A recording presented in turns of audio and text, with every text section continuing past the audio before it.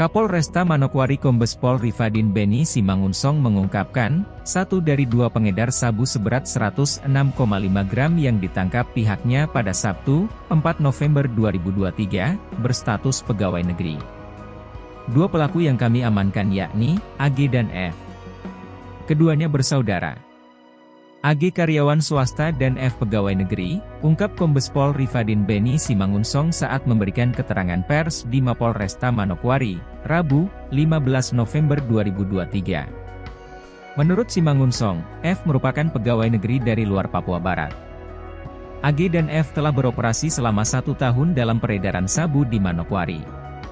Lanjut Simangunsong, salah satu pelaku dipastikan sebagai pengedar dan satunya berstatus turut serta sebagai pengedar. Maka kami masih dalami sejauh mana keterlibatannya, katanya. Kombes RB Simangunsong pun memuji anggotanya lantaran mengungkap kasus sabu tersebut. Ini tangkapan terbesarlah untuk narkoba jenis sabu-sabu di wilayah Papua Barat, pungkasnya. Sebelumnya, Kepolisian Resor Kota atau Polresta Manokwari mengungkap dua tersangka pengedar sabu. Dua tersangka dikenalkan sebagai Ra alias AG, dan WF alias F.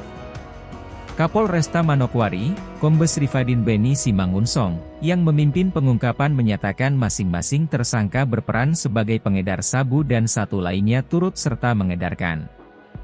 Kebetulan kedua pelaku adalah saudara, ujar Kombes RB Simangunsong.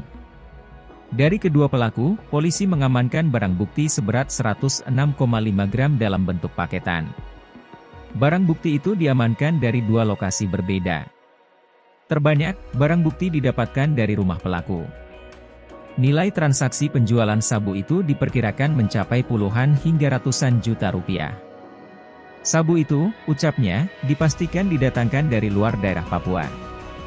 Adapun kedua pelaku diamankan Satuan Reserse Narkoba Polresta Manokwari di Jalan Pertanian Manokwari pada Sabtu, 4 November 2023, dua pekan lalu.